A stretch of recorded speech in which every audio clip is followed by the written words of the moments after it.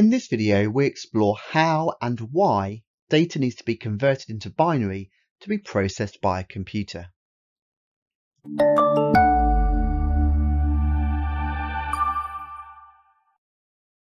So we live in an analog world.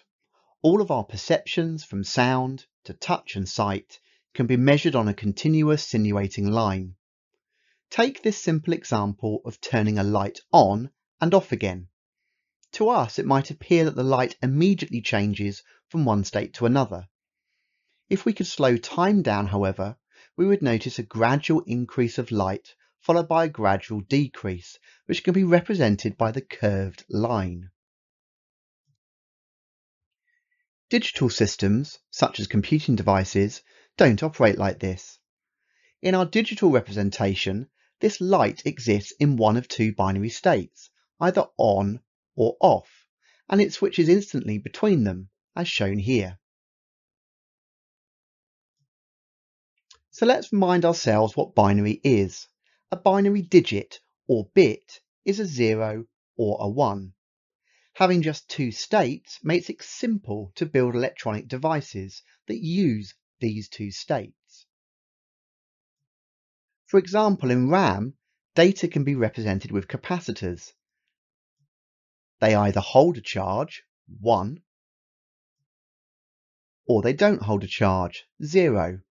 Having further states would make the components more difficult to build and potentially more prone to error. Data on hard disks can be stored using magnetism with north and south polarity representing 1 or 0.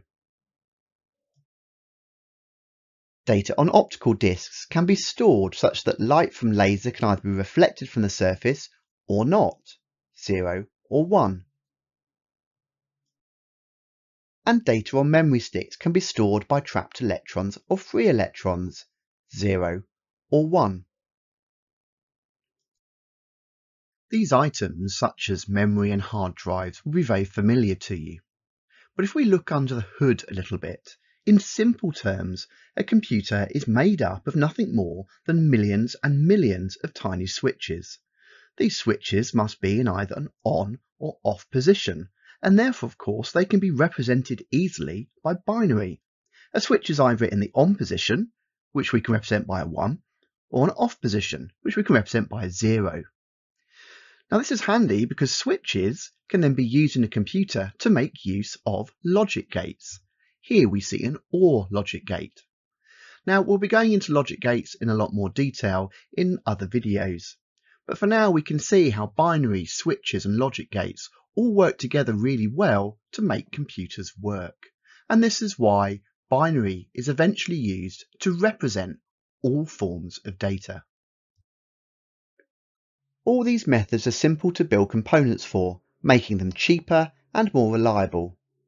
It was noticed that when you combine a series of bits, it's possible to represent any kind of data, text, images, sounds, and commands.